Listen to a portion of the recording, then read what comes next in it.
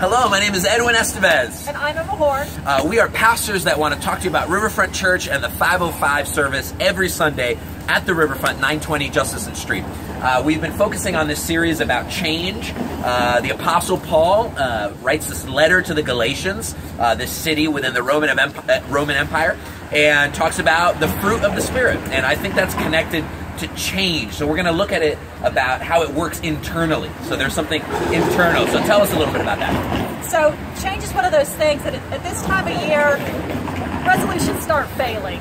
We might stop working out. We might stop eating the kale or whatever it was that you were eating. I don't know. Um, clearly, I wasn't into all that. Um, but the change that's internal, the change that's spurred on by motivation, by God, by the divine, can be something lasting. It can be something that we can continue to work for. And the fruit of the Spirit helps to motivate us to do that. It helps give us goals to work towards. Yeah.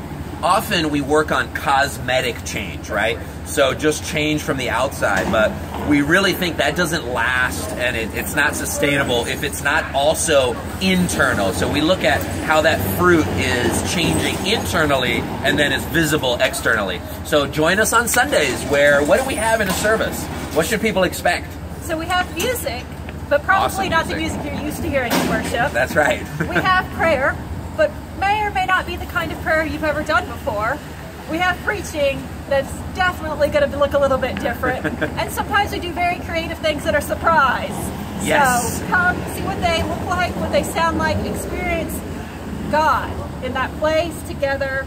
Uh, bring your questions, bring your answers, bring yourselves, even if you love kale or if you hate it or somewhere in between. Come as you are. You're welcome every Sunday, 5.05 p.m., Riverfront Church at the Riverfront, 920 Justin Street. See you there.